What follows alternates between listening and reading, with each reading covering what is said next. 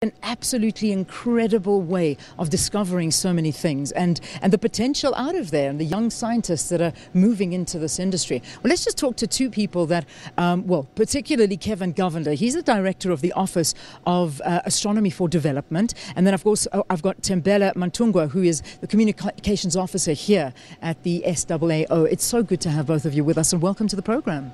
Cool. Thank you very much. Yeah, thank you, and thanks for having us. Thanks, Leanne. Now, I want to talk to you, Kevin. I mean, I'm talking about some of these incredible young scientists and people that are making such waves, and you are one such of them. If I can just read one of your accolades, actually two of them, if you don't mind. You um, listed uh, in uh, as the Mail and Guardian's top 200 young South Africans, um, the National Science and Technology Forum Science Communicator Award in 2011, and to top that up, you're the first South African to be awarded the prestigious Edinburgh Medal for the creation and practical establishment of the Office of Astronomy for Development. That's unbelievable. Congratulations. Thanks for doing all of this.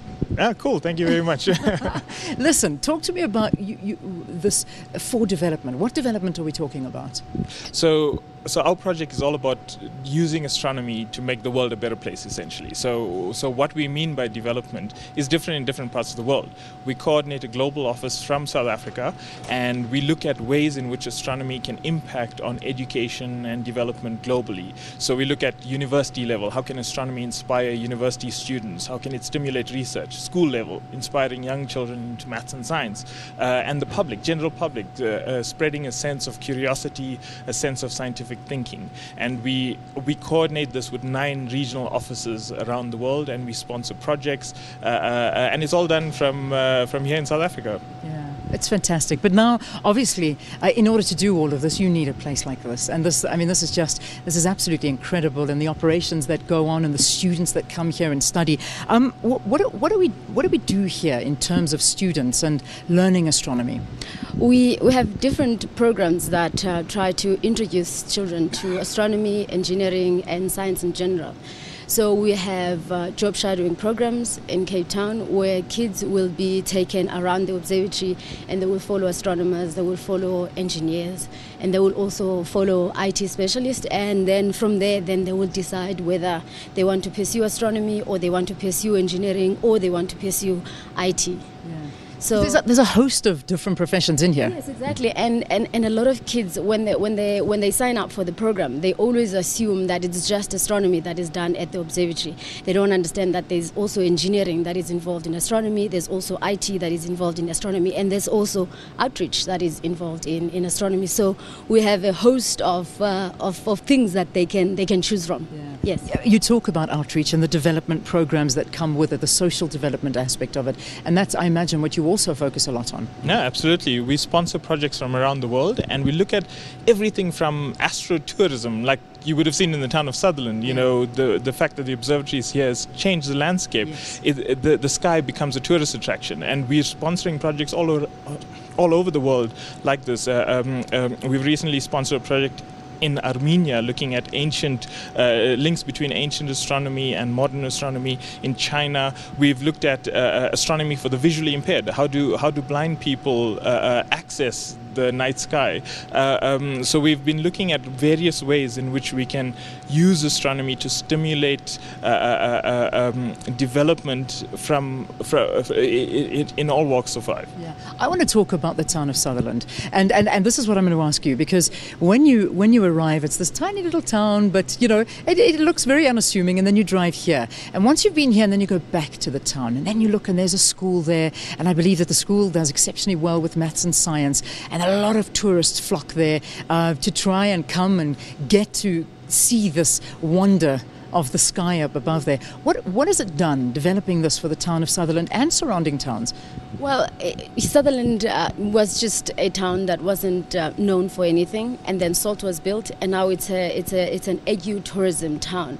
So if you want to come and enjoy some time, eh, you know, away from your busy life, you come to Sutherland, and you're not only going to experience tourism, you're also going to see stars. You're also going to interact with astronomy people, and uh, and and we also also have a, a community center where kids can do their homework at the community center. So they're not completely isolated now.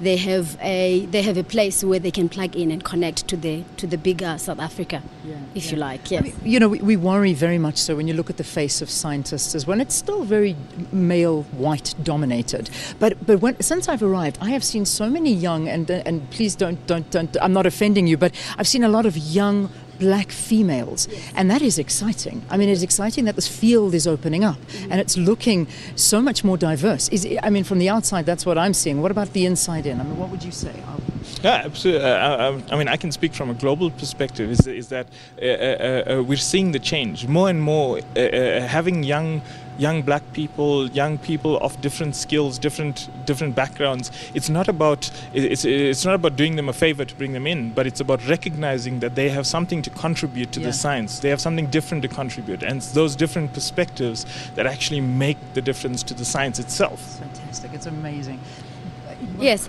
um, for for me, I, I would say in South Africa we still have, like as outreach people, we still have a long way to go. But so far we are progressing positively, and we we would like to have more females. We would like to have more, you know, more people taking astronomy as a as a, as a career. But we also want um, society to to to hold um, scientists accountable, which is why we have public programs every second and fourth Saturday of the month at the observatory where the general public can talk to astronomers and can engage with them. But we want science to be in the public platform.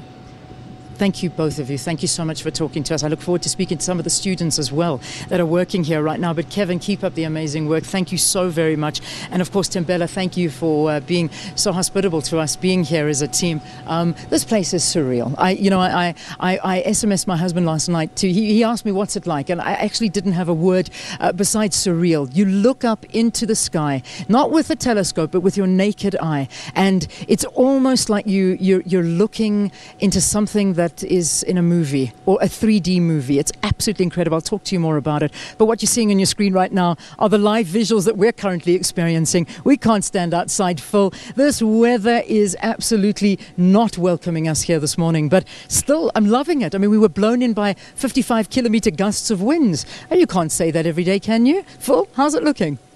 Yeah, thanks very much, Leanne. Well, uh, you certainly can't see that every day. Uh, what we're looking at right now is uh, so why we've been That talking about how Thank you. cold it is, how uh, windy it is, how uh, wet it is. And of course, uh, here at the observatory, they really do need to monitor that. Uh, the outside feed, of course, that you've just seen, that is uh, what we're experiencing at the moment. And we are seeing a lot of mist continuing. Now,